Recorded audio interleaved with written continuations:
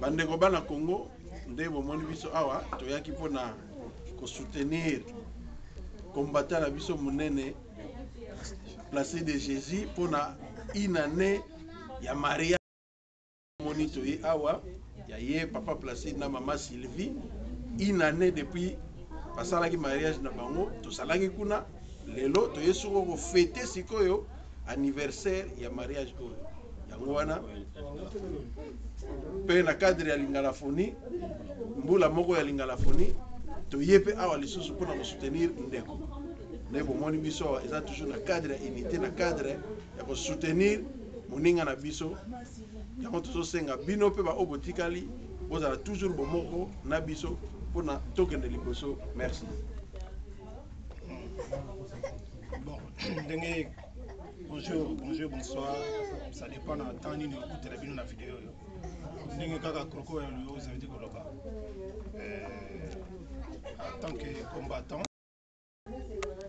na molimo mpe na makanisi ndenge mpe ke aside jésus akokisi mbula mobima ya libala na ye na mama sylvie komoto esengi kaka ke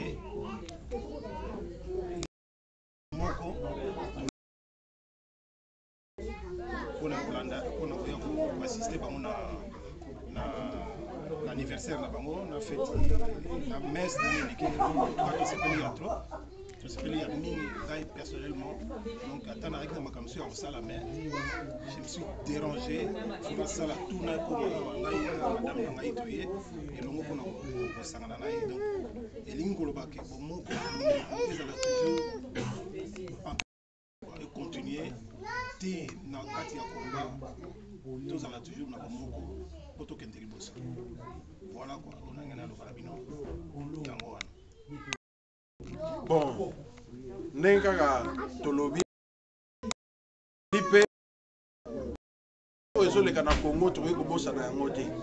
toyei kosoutenir ndeko me place nyonso bakombata bakutanaka tobosanaka likambo ya mboka te bino moko bomoni makambo nde baparlementaire rwandais baza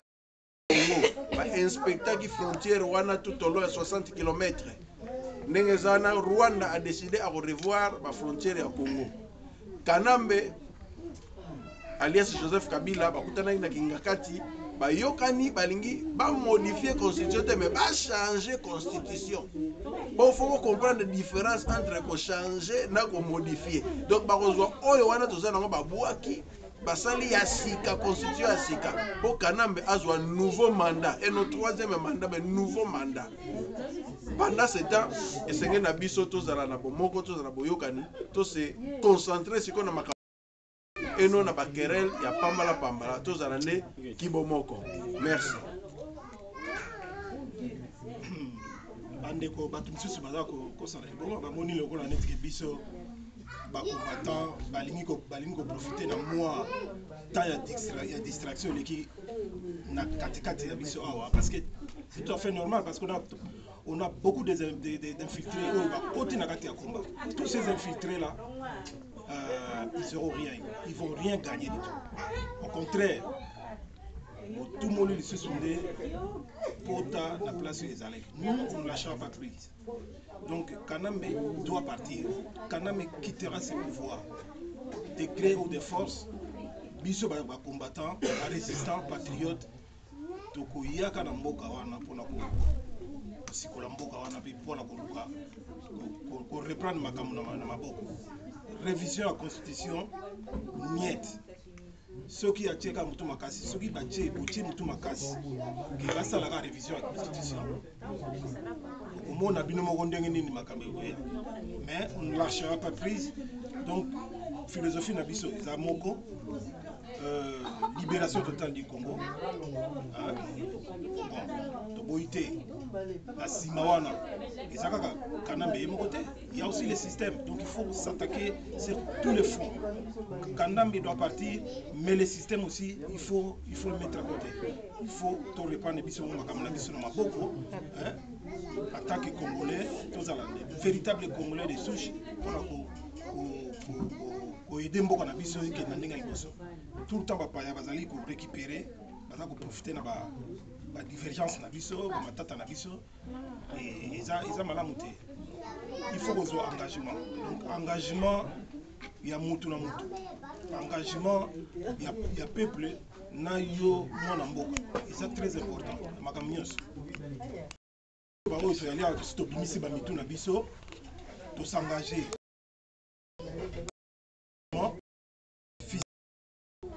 pire même toza kosengage bitambi nyonso ya nzoto donc cœur poumon eh, cerveau tout toza na engagement nango na kati donc totie vi na biso na kati ya likambo oyo tina suka alors ingeta ingeta ingeta merci koyoka kokoa prefet guerrier donc na liste na bino bandeko nyonso oyo baza apesi nzambe merci nzambe asalaki mingi abalani après deux mois kabwani après tout apesi nzambe merci parce que reconnaissant na une année et chaque fois que tolokokisa tokopesa nzambe kaka merci mposa na biso na ngai na mwasi na ngai mwasi libi nzambe na biso mosika mosika kaka nde liyo ekamba na biso na bandeko ozo na biso bobanga kozanga tikotia biso toli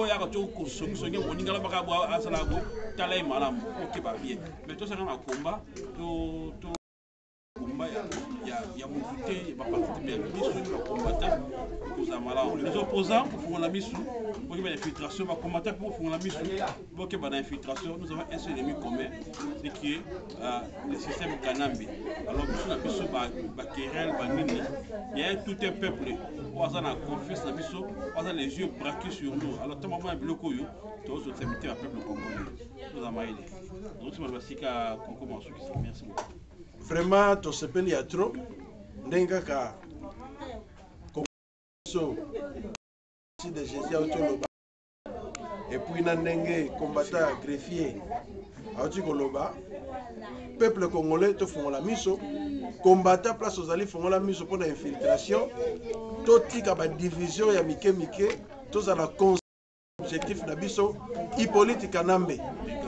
dégage. Donc toboyi système wana na bato na ye bango nyonso fo balongwa nde nsima nde tokotala ndenge nini biso moko tokodirige Congo na biso sans ba étranger wana lokole lokole